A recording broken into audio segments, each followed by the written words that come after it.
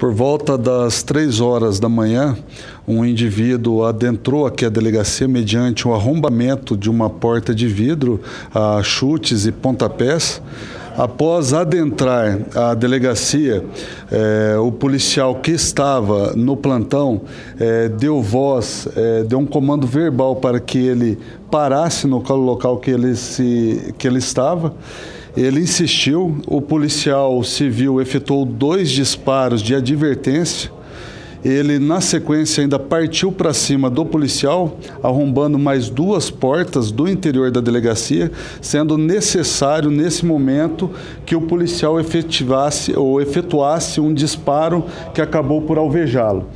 É, na sequência, mesmo atingido pelo disparo de arma de fogo, esse é, rapaz ainda perseguiu o policial no interior da delegacia, sendo necessário que esse é, plantonista buscasse um abrigo no interior aqui da delegacia para solicitar apoio.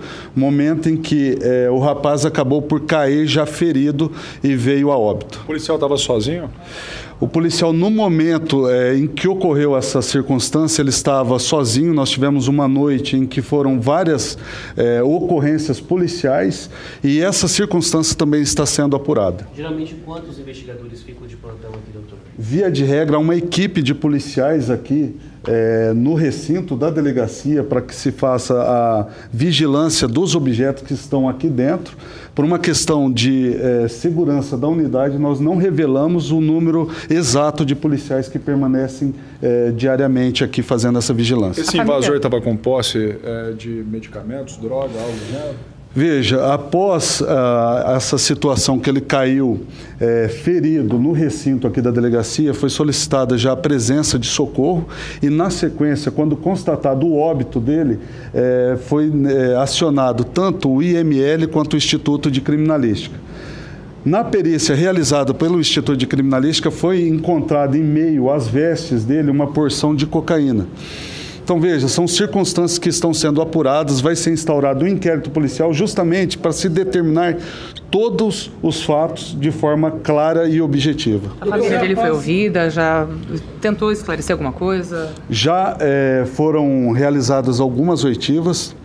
É, uma mulher que estava no veículo com ele já foi, já prestou depoimento ainda durante a madrugada. O que ela diz, Essa mulher que estava com esse rapaz no veículo e nos informou que ele, num certo momento, ele passou a conduzir o veículo em alta velocidade, é, furando diversos semáforos aqui da cidade. Já nas proximidades da delegacia, ele adentrou na contramão da via e quando houve a redução da velocidade, ela conseguiu desligar o veículo. No momento em que ele, mediante pontapés, estourou o vidro traseiro do veículo, deixando o carro e partindo é, em correria aqui para a delegacia, onde já é, acabou por arrombar a, a, porta de acesso. Doutor, esse carro foi, foi apreendido? Sim, o carro, na sequência, essa mulher deixou aqui as proximidades é, com o veículo. Esse veículo também vai ser objeto de exame pericial, justamente para se constatar o que de fato ocorreu. Familiares contaram se ele está tendo algum distúrbio, se ele estava passando por alguma situação delicada, doutor? São circunstâncias que ainda vão ser esclarecidas. A mãe dele prestou um depoimento onde relatou de fato algum tipo de é, transtorno por parte desse rapaz. Das evidências que foram colhidas na noite aqui nessa madrugada, aparentemente tudo indica que ele fez uma confusão mental das, do que de fato ocorria. Essa confusão mental o fez invadir a delegacia e enxergar no policial civil um oponente. Ninguém estava perseguindo ele, então? Não, não havia essa circunstância de perseguição.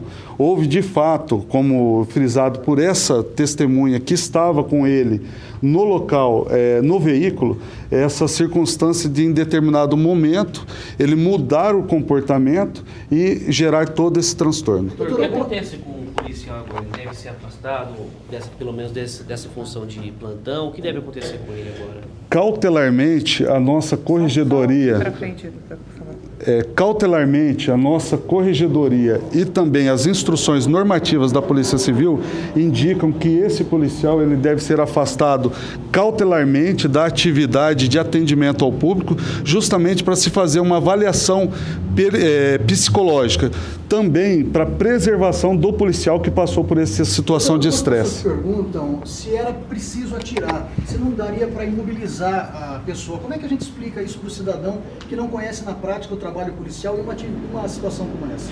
Veja, a partir do momento em que houve o arrombamento da porta, houve um comando verbal tiros de advertência, mas mesmo assim não cessou a ação desse rapaz que aparentemente estava é, numa, numa situação de confusão mental. Na sequência, foi necessário efetuar esse disparo e há também, nós temos que considerar que houve uma invasão de um local de segurança pública, onde há a presença não só de objetos apreendidos, que são é, decorrentes de investigações policiais, drogas e armas. Então, todo esse contexto levou à necessidade dessa ação, dessa intervenção do policial.